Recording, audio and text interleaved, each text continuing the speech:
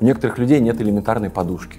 Я Да, спрошу, финансовой. сколько вы продержитесь? И кто-то говорит три месяца, кто-то говорит месяц, а кто-то говорит Пару все, дней. я- пару дней, вот реально. Малый и средний бизнес. Как бы терпеть можно, да, государство идет навстречу. Стоит ли э, с большими отсрочками работать? Это люди помнят добро.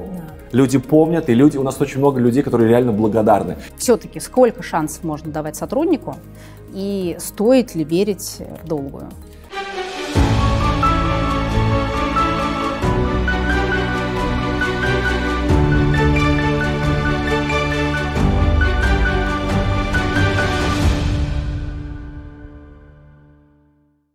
Друзья, подписывайтесь на канал 1С Bittrex для бизнеса.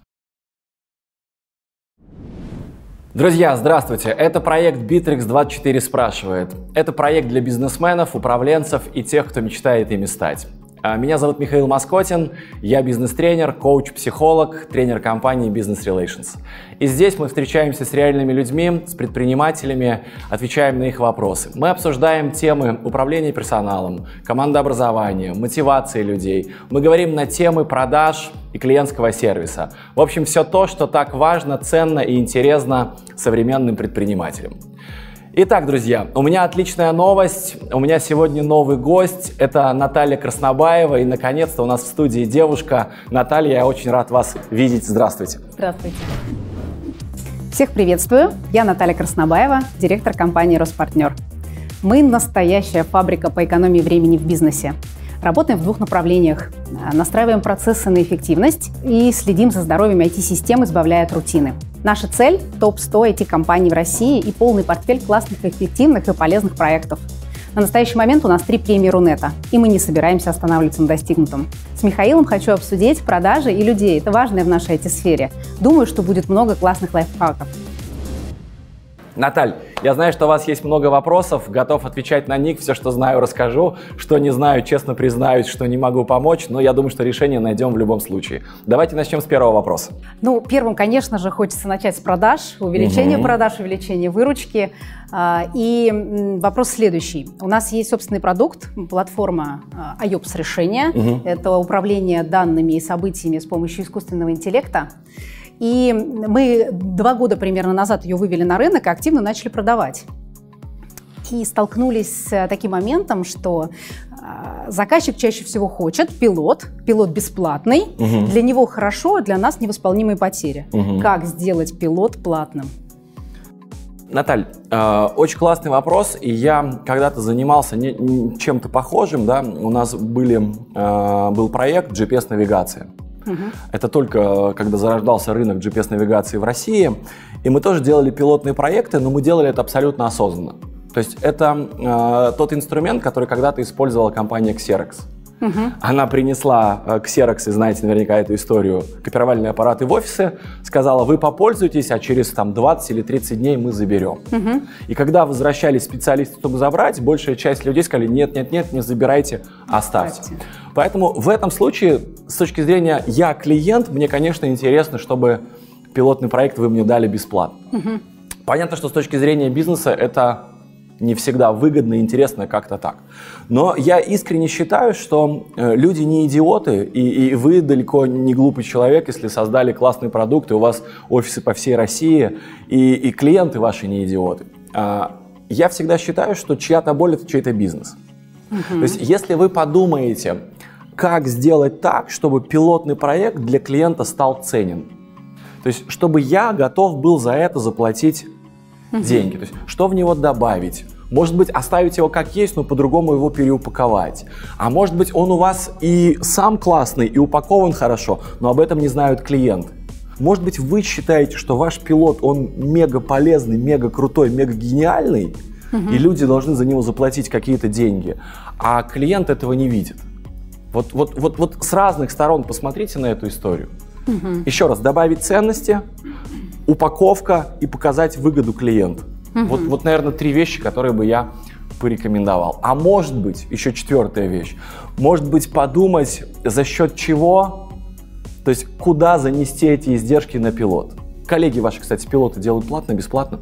Вот такой вопрос. Да, есть разные ситуации. Разные ситуации. Да, есть огромные пилоты делают бесплатно, угу. чтобы потом, соответственно, э, как говорится, заякориться в клиенте. Да. И я, например, знаю, что э, та же компания а, Amazon и много международных компаний, они первого клиента, то есть первую сделку проводят в минус угу. для того, чтобы вовлечь клиента в свой продукт, в свою услугу, а дальше создать с ним отношения. Угу. Гораздо страшнее, когда мы пилот сделали бесплатный, а потом еще и клиента потеряли. Вот это, мне кажется, страшно, что где-то да. не докрутили, не до, э, создали отношения, не показали выгоду, ну, в общем, совершили какие-то ошибки. Вот, вот четыре вещи, которые, мне кажется, можно тут как-то покрутить и посмотреть. Ну да, думаю, покрутим тогда. И в сфере последних событий ага. тоже вопрос актуальный. А, сейчас не только пилоты, сейчас, э, скорее всего, проекты будут с большими отсрочками. Вот хотелось бы услышать ваше мнение а, вот малый средний бизнес, а, как бы терпеть можно, да, государство идет навстречу. Стоит ли а, с большими отсрочками работать или все-таки немножко, а, ну, по, по факту терять клиентов? По факту говорить, что мы не готовы вести сейчас работы за 0 рублей, а с отсрочкой там в полгода, 8 месяцев, кто знает, сколько это будет, да, надеяться на оплату. Наталья, ну риск точно есть, риск точно есть, и здесь даже больше вопрос, наверное, не ко мне, а вопрос к вам, насколько вы финансово сами готовы к такой модели работы. Ну, приведу пример. А, когда все это только начало происходить, там и с долларом, и с нефтью, и с карантинами, мы командой собрались и подумали, как поддержать наших клиентов и вообще предпринимателей, там, управленцев в этой стране. И мы, например, сделали трехдневные бесплатные консультации. То есть мы три дня с утра до вечера, четыре тренера нашей команды проводили бесплатные консультации. Не навсегда, не на 8 месяцев, не на год, а на три дня, чтобы понять, во-первых, что происходит и поддержать людей. Угу. Вы можете сделать какие-то вещи для поддержки постоянных клиентов. Угу. То есть да. просто взять список постоянных клиентов. Что нам сделать, чтобы эти люди выиграли, и это возможность сейчас, вот эта ситуация, создать с ними такие отношения, чтобы они никогда от нас не ушли. Потому что mm-hmm. люди помнят добро. Да. Поэтому первое, я бы, наверное, подумал, как поддержать текущих клиентов, mm-hmm. да, что правильно. можно им сделать, да, чтобы они выиграли.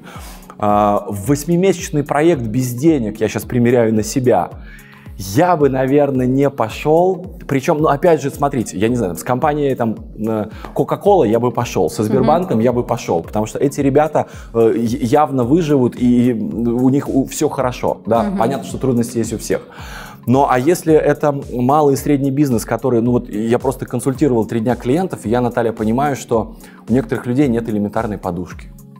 Я да, спрошу, сколько вы продержитесь? Угу. И кто-то говорит три месяца, кто-то говорит месяц, а кто-то говорит пару все, дней. Я, пару дней, вот реально. Ну, понятно, что в эти проекты, ну, точно не стоит идти. То есть тут еще, наверное, надо пофильтровать клиентов. Ну да, это Понять, какая у них финансовая ситуация. Угу. Вот, Работа что, с рисками, да? Ну, конечно, потому что, может быть, с кем-то и стоит идти в долгую, и они это точно оценят и запомнят. Угу. Ну, понятно, что это все должно быть прописано юридически. юридически, да, чтобы не было там «Спасибо, Наталья, вы очень добрая, у вас красивые глаза, спасибо, что нас поддержали, мы дальше сами». Поэтому, наверное, вот как-то так я бы это прокомментировал. Да, спасибо.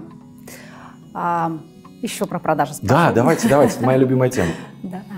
У нас, э, я как уже сказала, есть несколько направлений продаж. Э, мы э, собственную платформу продаем, Bittrex24, Enterprise решение, крупное IT-решение на нем, и поддержку информационных систем. И, соответственно, у нас есть отдел продаж.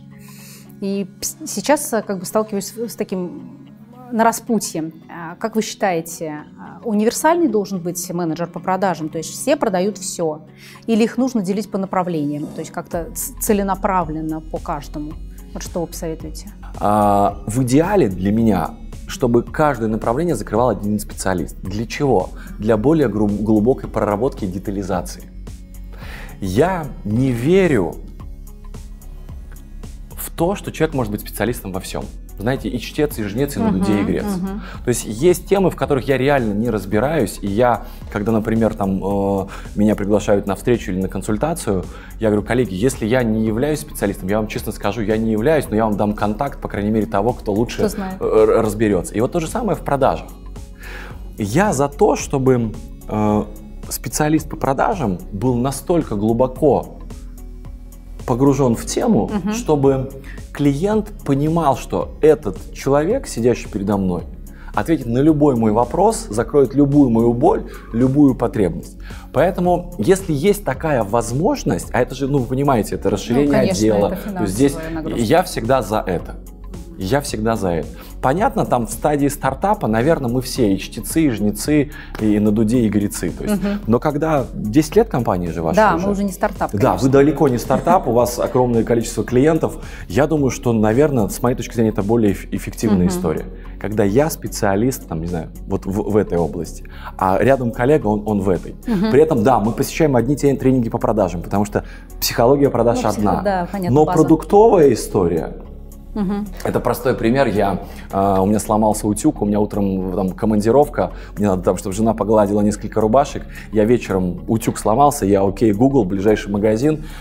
И я захожу там, не буду называть название угу. магазина, и там есть мальчик, он специалист по утюгам. Угу. А другой мальчик, он специалист по пылесосам. А третий, он по холодильникам. И вот этот парень, я реально получил удовольствие, потому что он, ну, он мне такие вещи рассказал про утюги. Я даже не знал, что вот, вот про утюги можно столько всякой фигни знать полезный ага, для ага. меня. Я с радостью там эту сделку закрыл там и, и купил утюг. Поэтому мне кажется, да. Тем более у вас более сложный продукт, чем утюги. Ну да, у нас, более того, они разные, абсолютно разные. И я сама, вы просто упрочнили мое мнение потому что я сама люблю продавать, например, я продаю Битрикс. Я Класс. знаю, больш, как лучше и правильнее сделать Класс. на большом проекте. Я не понимаю, как, например, кто-то может мне продать тот же самый Битрикс, не любя его и, и не разбираясь вот прям во всем функционале. Наташ, вот, вот, вот это то, о чем я говорю на каждом своем тренинге, в каждом своем видео. Я выбираю продавать Битрикс. Значит, моя задача влюбиться в Битрикс так, угу. чтобы в этой стране не было ни одного человека, кто знает...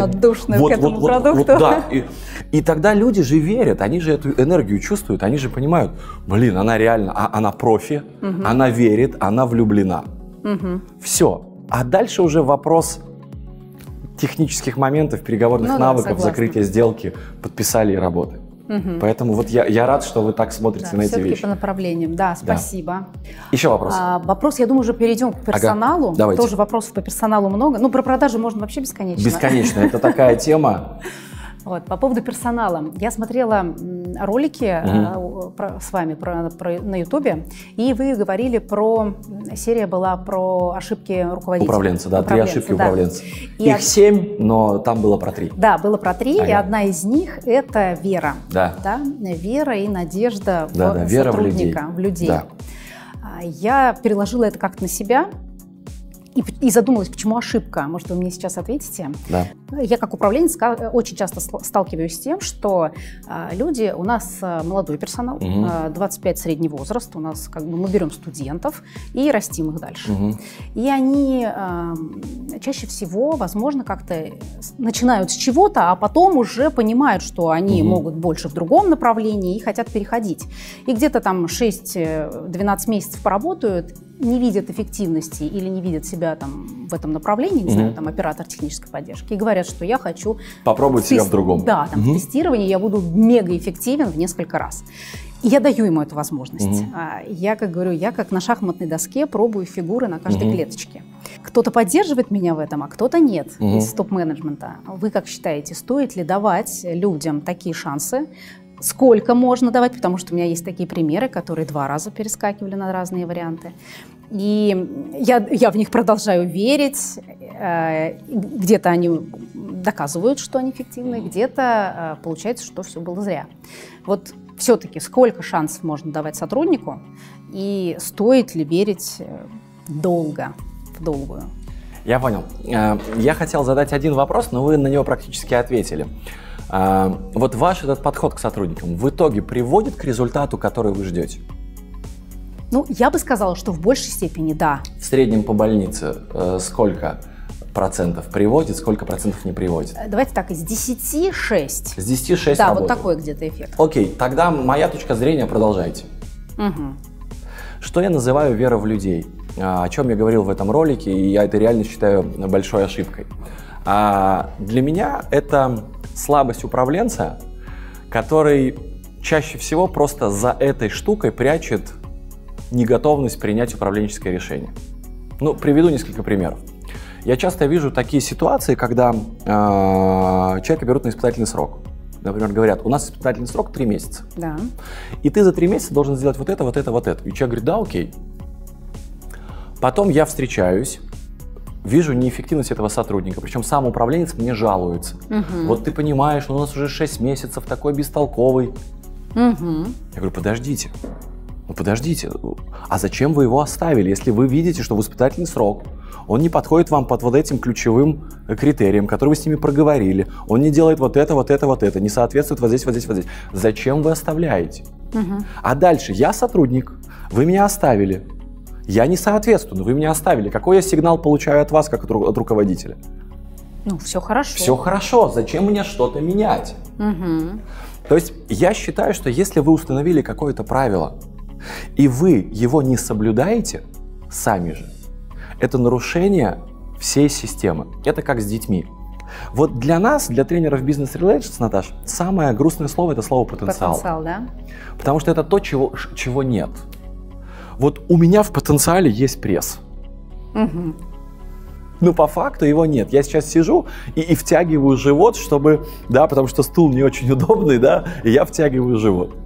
Чтобы у меня ли- ли- лишние пару килограммов не вывалились, и я лучше выглядел в, ка- ну, в кадре. Угу. Но нет у меня пресса, давайте признаем. Да, я делаю гимнастику, да, я занимаюсь тренером, но пресса у меня нет. Угу. То есть насколько будет эффект от того, чтобы... не Конечно. Мгм. Вот я про это. Просто, Наталья, я понял одну вещь очень простую, мне кажется, но многие люди ее не осознают. Многим людям в этой стране деньги не нужны. Так, то есть нематериальная эффективность какая-то. Да. Более того, многим людям в этой стране карьера не нужна. Что нужно? Ничего не делать. А вообще? Да. А как же самореализация, как же пирамида чуть выше, выше, выше середины? Вот, Наташ, самореализация нужна не всем. Я тоже искренне долгое время думал, ну а как, самореализация? Ну да, рост, Рост? уверенность в себе, что я могу. Конечно. Многим не надо. Многим нужен комфорт, безопасность, стабильность, чтоб не трогали, чтоб не лезли, не рисковать, не выглядеть идиотом. Мгм. Богат не тот, у кого много, богат тот, кому хватает. Так и как быть? Самая жуткая фраза, которую только можно сказать, я ее сейчас сказал. да. Я правда, я противник этой фразы. При этом это, это не про деньги, это не про богатство, это про отношения. Что часто люди эм, себя уговаривают. Лучше синица в руках, чем журавль в небе. Так. Где родился, там и пригодился. Мгм. Меньше знаешь, крепче спишь. Много хочешь, мало получишь. Ну, вот какие-то такие вещи. Как быть? Да. А, у меня решение такое. Искать тех, кому реально нужны деньги, Мгм. искать тех, кому реально нужно саморазвитие, искать тех, кому реально нужна карьера, искать тех, которые реально любят клиентов. А, у меня есть примеры, когда, например, ко мне подходит управленец и говорит, Михаил, что делать? Они не хотят вообще учиться. Так. Вот я заказываю тренера, я там говорю, давайте я вас отправлю там на коучинг еще. Не хотят. Что делать? Я говорю, запоминай. Пишешь рекомендательное письмо и помогаешь трудоустроиться к своему главному конкуренту. Хорошее решение. Пусть там разрушают их бизнес. Мне люди, которые не готовы заботиться о клиентах, мне люди, которые не готовы учиться, мне люди, которые не готовы расти и развиваться, к сожалению, не подходят.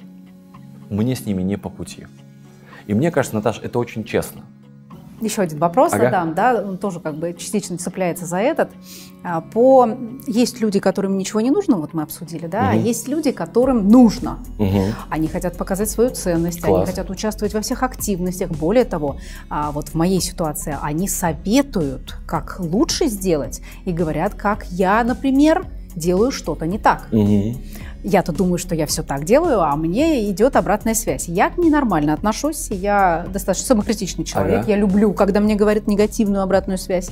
Я с ней работаю. Но вот иногда, ну, на мой взгляд, да, это заходит достаточно далеко. Приведите пример, что такое достаточно далеко. А, Например, а, информационное поле в компании да, в него, естественно, топ-менеджмент э, выдает определенную информацию. Угу. Грубо говоря, я, я говорю так, все, что я делаю, это моя работа. Угу. С трудностями, которые у меня в моей работе возникают, я не хочу и не вижу целесообразным делиться с, со всей командой. Ну, со окей. всеми сотрудниками. Это как в, в, в самолете пилот. Есть информация для пассажиров. Да. Температура за бортом минус да. 50, скорость 980. А есть информация для диспетчеров. Все верно. Информацию, которую он передает диспетчерам, не надо передавать пассажирам, потому что может быть паника в самолете. Вот, а мои пассажиры говорят, передавайте нам все. Мы хотим все вместе с вами там, сопереживать и финансовые разрывы, угу. и там недостаток персонала, или там какие-то трудности в плане проектов. Угу. Рассказывайте все. Я говорю, ну, ребят, ну вот зачем вам это? Да, то есть это будет лишняя паника угу. и прочее. Ну и начинаем разговаривать. А, и их число растет, то есть они хотят большое, там, полное погружение в жизнь компании от и до. А, вопрос, как вы считаете, ну, во-первых, правильно ли, что я слушаю и периодически рефлексирую на такие угу. темы? И когда такие темы достаточно остро встают, и я против этого, как работать, чтобы не угас пыл вот этого активиста, например, или активистов? Очень, тут два вопроса, я, я коротко на оба отвечу. А, я всегда за обратную связь. И то, что мы делаем в консультациях, в тренингах, в консалтинге, в коучинге, во всех наших программах, 50% а, это обратная связь. Да, я ее не люблю, но она очень полезна. Это первое. Второе, по поводу негатива, я вас реально поддерживаю в этом, потому что я искренне считаю, что, например, а, какие-то вещи а, не всем нужно знать. Моим детям не нужно знать какие-то вещи, которые происходят у меня в бизнесе. Даже моей жене, прости, Катя, если ты смотришь это видео, да, не нужно знать какие-то вещи. Потому что зачем? Потому что я за сутки этот вопрос решил, угу. она на это повлиять не может, а она сутки будет переживать. Да, верно. Вот. Теперь очень хорошая новость, что сотрудники подходят и говорят, Наталья, мы хотим участвовать. Наталья, я, я вам прямо искренне завидую. Я думаю, что многие, кто нас смотрит, они, они прямо могут завидовать Наталье, потому что это правда, это очень классно. Значит, вы создали хороший контекст. И я думаю, что вам нужно просто добавить градус открытости. Если они об этом просят, добавьте градус открытости. Но при этом, если вы понимаете, что какая-то информация реально может им навредить, а вы с этим сама справитесь или там с помощью там какого-то еще менее там более ближнего круга, да, меньшей численностью, то лучше это, конечно, не, не делать, потому что ну а зачем? Угу. А если есть какие-то вещи, знаете, там, ну, простая э, русская фраза «одна голова хорошо, а две лучше». Да, да, да. Здесь мы можем, ну, реально просто, ребят, нам нужно подумать. Угу. Давайте подумаем. Вот у нас такая ситуация, как мы поступим? Причем у вас, может быть, уже решение какое-то есть, ну, а при этом вы можете и другое найти. Ну да. Поэтому э, просто я бы на вашем месте добавил вот этот градус открытости, тем более они об этом просят. Угу. А как не, не угасить э, инициативу? А, не наказывать никогда людей за инициативу. Потому что как только вы за инициативу э, наказали человека, ну, все, тут все, тут, тут сразу. То есть, э, если у нас это в правилах прописано, он нарушил правила, и у нас за это идет какое-то наказание, окей, мы играем по правилам. Угу. Принцип электрического тока, не надо засовывать пальцы в розетку.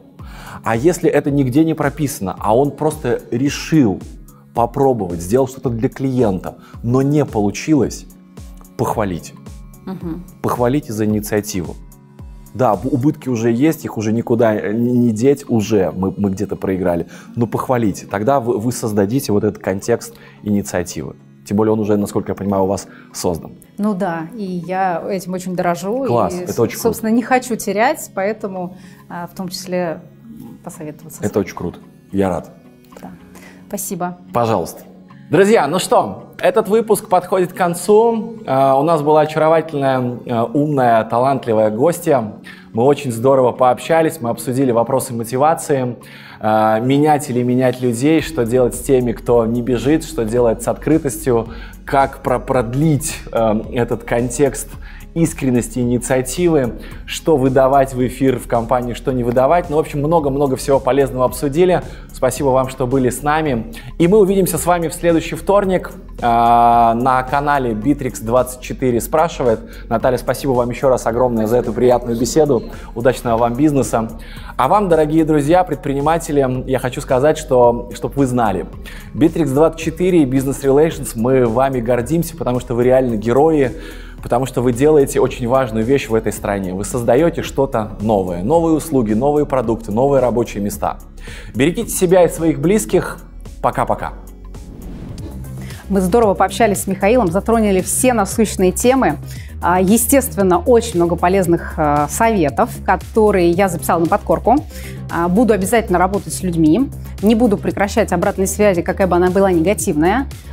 Бизнес-завтраки возобновим и используем все, что нам посоветовал Михаил. И даже, возможно, будем в команде делать эти завтраки с Михаилом. Части продаж – да, придется поработать, попотеть, но те пунктики, которые Михаил посоветовал, возьму на вооружение и думаю, что столбики продаж поднимутся. И в ГОСе, и в B2B. Друзья, подписывайтесь на канал для бизнеса и получайте готовые инсайты от лучших экспертов и специалистов.